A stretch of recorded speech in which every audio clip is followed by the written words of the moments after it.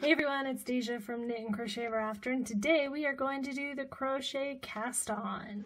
So what is a crochet cast on? It's exactly what it says. You're going to use your crochet hook to cast on your knitting stitches. So this is not very popular with knitters who don't know how to crochet, but because you guys are crocheters, this is going to be super easy and probably one of your go-to cast-ons from now on. So after we get some cast casted on. Hmm, I don't think that's right. Once we get some cast on, we will talk about why you would prefer to use the crochet cast on instead of, say, maybe a long tail cast on. But let's get started with casting on first, and then it'll make more sense. So we are going to start with a slip knot. So we take our yarn, here's our tail, flip it, grab the working yarn, pull it through, and now you have a slip knot. Notice I did not have to pull out a long tail. You don't need it for this cast on. You just do a long enough tail to weave in. Now, where does this go? The needle or the hook? For a crochet cast on, you put it on the hook. And then you're going to tighten it down. Then we take our needle and we are going to create kind of foundation chains around our needle.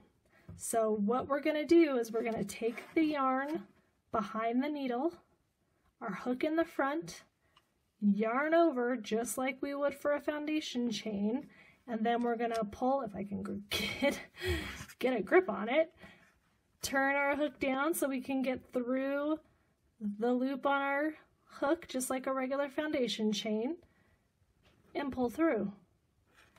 We have one stitch on our hook. Our yarn's in front. It's kind of impossible to get it around our needle, so we got to move it to the back. Bring it back around your needle to start the next one. Again, we're going to yarn over just like we do in crochet. Pull it through. Two have been made.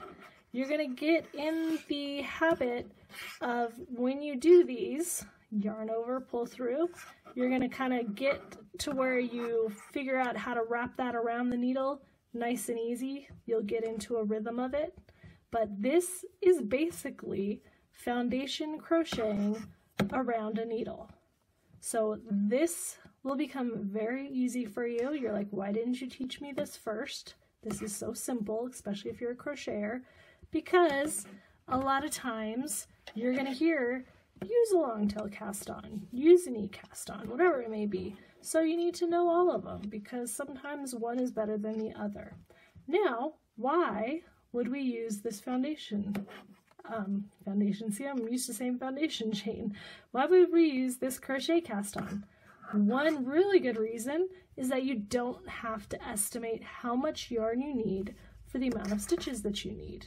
So instead of pulling out, you know, yards and yards of yarn hoping you pulled out the right amount for your long tail cast on. All you need is that little bit to weave in and your slip knot. Easy, right? The second reason is look at the bottom of this. This is your edge. So when you have a project where you're not going to be sewing or you're not going to put like fringe, say that this was a scarf, if you're not going to be attaching fringe to the bottom or doing anything to your edge, this is a really nice edge. It gives you that foundation crochet edge.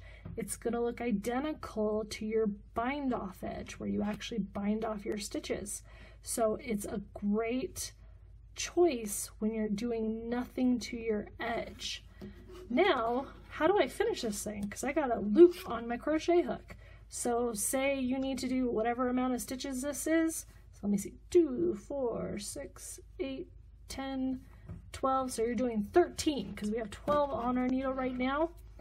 Here's number 13. We're going to pull it out and we're going to put it on our needle. We need to make sure though that we have that right side, just like normal. We want the right side of our loop, so we kind of twist it to be in the front so that it's situated the right way, just like the rest of them. And then you're ready to start your work. Why did I turn it that way? I'm already in the right spot. another great thing. You don't have to turn your work. And then you're ready to start knitting. What if I used a crochet hook for knitting? That would be interesting. Anyways, that is your crochet cast on. I'm going to do some projects with this that I'll go over it again too, but you can see it's nice and spaced out. It's It kind of lends itself to giving you a nice space between your cast on stitches, just like I always advise so that you can work into them on the next row. But it is super simple and very nice looking edge. So that is the crochet cast on. If you have any questions, leave them below and thank you for watching.